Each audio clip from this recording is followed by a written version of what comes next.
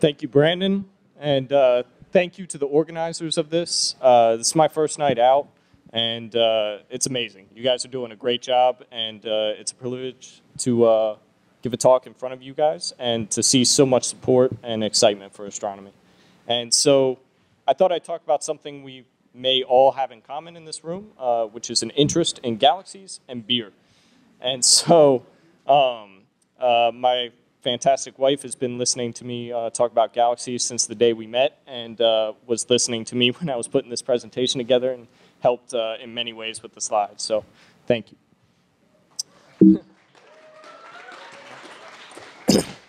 so uh, a lot of times in something technical, um, people use a word that's very common to everyone, uh, but the connotation is totally different and different from what you're probably thinking about.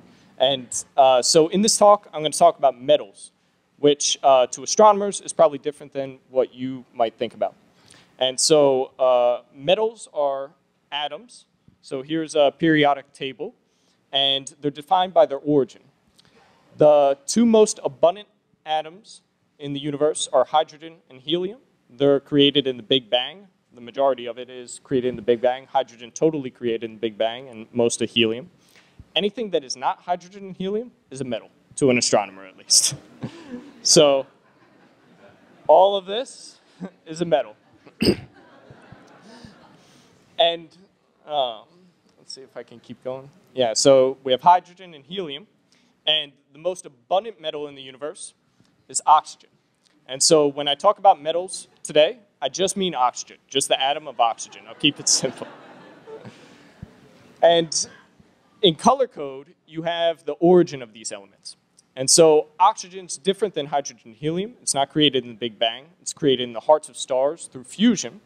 And when you have a star different than, say, the stars we heard about in the first talk, which end up in white dwarfs, but you have a star 10 times as big as the sun, it will create, well, fu fusion will create helium from hydrogen, and then heavier elements, and then it will explode, dispersing those elements into the gas, creating oxygen.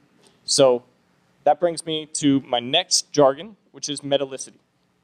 And so even if you're talking among other astronomers, uh, you kind of have to ask them to define what they mean by metallicity because there's uh, a range. And so for a little bit background, galaxies are comprised of basically four components. Dark matter is the main component, gas, stars, and dust. And the gas itself has molecular uh, hydrogen, which is about 10% of the gas, and then the rest are atoms, most of which are hydrogen and helium. But you also have uh, trace amounts of metals, so oxygen. So in this case, when I say metallicity, all I mean is the number of oxygen atoms in gas divided by the number of hydrogen atoms in gas. And for the most part, that's about one oxygen atom for every thousand hydrogen atoms or so. So you might be asking, what's this have to do with beer? and so if if you'll allow me to, to make an analogy, if you take beer volume and equate it with galaxy mass, and take the alcohol percentage in your beer, which is just the volume percentage of alcohol in, in your glass, say 4%, so that means 4% of the volume of your beer is alcohol, usually ethanol, and we'll equate it to this gas phase metallicity, the number of oxygen atoms over the number of hydrogen atoms. You have a nice analogy where fermentation, this chemical process of yeast uh, reacting with sugar, creating carbon dioxide and your alcohol, the more that happens, the higher percentage beer you have. And with supernovae, so in a galaxy you have gas, it's mostly hydrogen and helium at first. Uh, pockets of that gas is dense enough to collapse, form a cluster of stars. Some of those stars are smaller than our sun, some the size of our sun, and some big enough to explode and release oxygen back into that gas. Just like fermentation makes higher alcohol percentage, this creates higher metallicities in galaxies.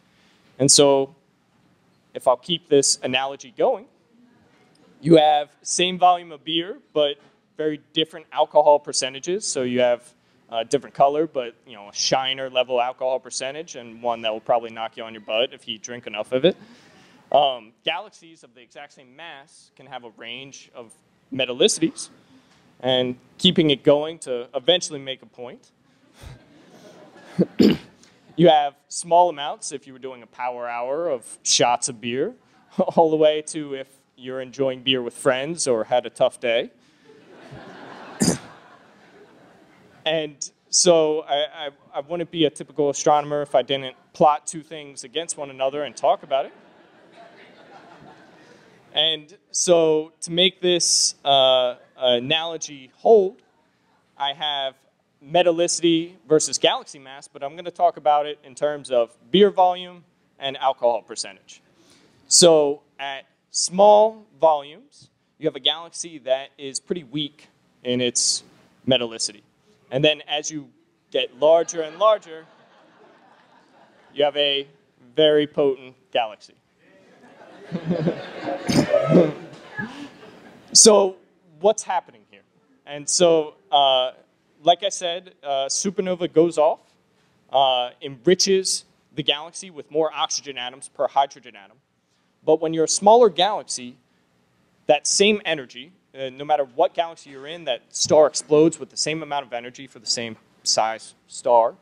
Um, but the smaller galaxy doesn't have enough gravity to hold all of those metals in. So some of those metals go out. You don't enrich it as much as a bigger galaxy or a higher, you know, growler size galaxy. Uh, and, and, you end up with a lower percentage galaxy. So uh, with a little bit of audience participation, we live in a galaxy, the Milky Way. Does anybody have a guess of what size alcohol? All right, so we got shot glass, we got pint. All right, we got uh, a German style liter. And uh, all right, so we got a range of volumes that were guessed. What about how potent the Milky Way is? All right, so we got 9.1, and the last thing I heard was leader. All right, so not bad, not bad. Yeah. So more or less, the Milky Way is something like a dogfish head, 90 minute in a liter glass. But this plot was made with galaxies today.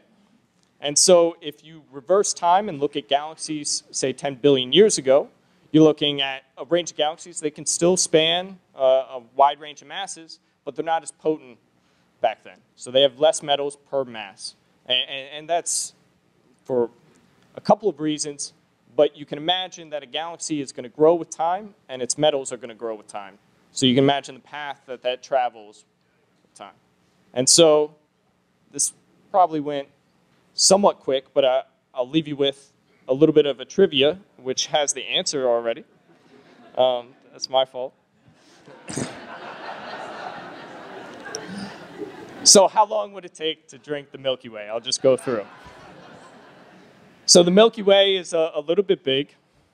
It's uh, a thousand billion, billion, billion, billion, billion, billion, billion ounces.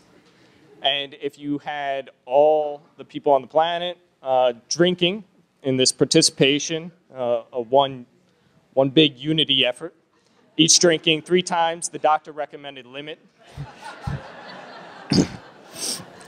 and you gave your answer in terms of the age of the universe, just to make the number a little bit smaller it, it would still take 10 to the 42 universe lifetimes. and if you took the log 10 of that, the answer is the universe, life, and everything. Um, so, um,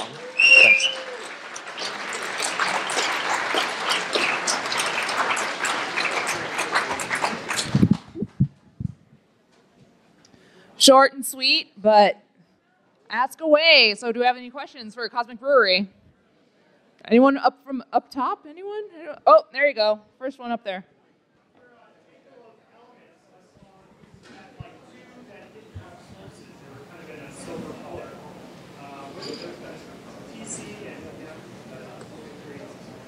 Yeah. Well, if they don't have a, uh, yeah, sorry. Question, um, the question was on the on this graph. There are two elements that are in silver, not corresponding to any of the colors um, TC and PM. Uh, as a non-chemist, I can't even tell you what those elements are. Um, uh, and the fact that they don't have one of these six origins means that we haven't identified the origin of those elements. So uh, a lot of work went into this pretty graph, and I can't take any credit for it. Um, but uh, essentially, um, there are also uh, a lot of high numbers that are left off of there, and those are usually not naturally occurring high, high isotopes as well.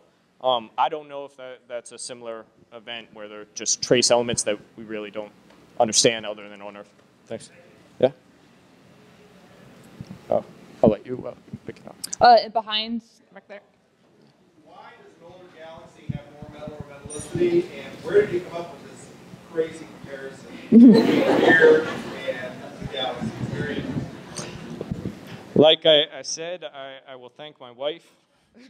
Um, and uh, uh, so, an older galaxy, uh, say you start with the same amount of gas, and an older galaxy just literally has more time to condense in pockets, form star clusters, and have a big massive star go supernovae. So, say a galaxy is 10 billion years old, um, like we heard before, a star that's 10 times the mass of the sun is actually going to have a relatively short lifetime compared to that 10 to 30 million years. It will explode, enhance, and the more times that process happens, uh, actually it becomes a little bit more efficient for that gas to collapse. Uh, metals help with losing energy and collapsing faster. And, and, so an older galaxy, and likely a more massive galaxy at times, uh, is going to have more oxygen atoms from those supernovae compared to the number of hydrogen atoms. And, and the other process that happens is the lower mass stars when you form these star clusters, lower mass stars live very long. And so uh, both the gas that it started with, all that hydrogen, is just locked up in the stars. It, it, transformed into something else, but it's not in that gas anymore. And so the, the longer a galaxy lives, you have those two processes that kind of bump up the alcohol percentage of that galaxy. uh, right here, down front. galaxy gets more and more potent, but some point so many metals, going to have more metals than you have hydrogen? Well, so not only is star formation, so gas collapsing into stars, not fully efficient, but let's say uh, you turned all the gas perfectly into just the single kind of star that will explode and enrich. Uh, you, will level out, actually, you're still going to release hydrogen. Uh, the, that big massive star still had an edge envelope of hydrogen and uh, it has a single percentage of oxygen. There, there, are other elements that are in there that, that explode. And so that ratio will top out at that exact level. Now, stars form where there are more small stars than big stars, and then essentially you have an effective top out level. And none of the galaxies are actually really even close to that. Um, and, and, that's because there are competing effects, essentially. Um, the same way that uh, fermentation tops out where the alcohol stops the process of continuing fermentation. It's, it, it inhibits the, the reaction. Uh, more metals that you have, uh, it's kind of kind of similar process. You, because you, are exploding, you're, you're disrupting the possibility to do those explosions again. And down in front.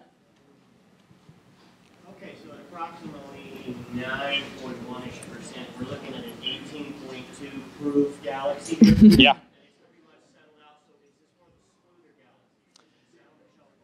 Yeah, I, I, would say the Milky Way would be a pretty tasty 9.1%. uh, and with that, let's thank Cosmic Brewery again.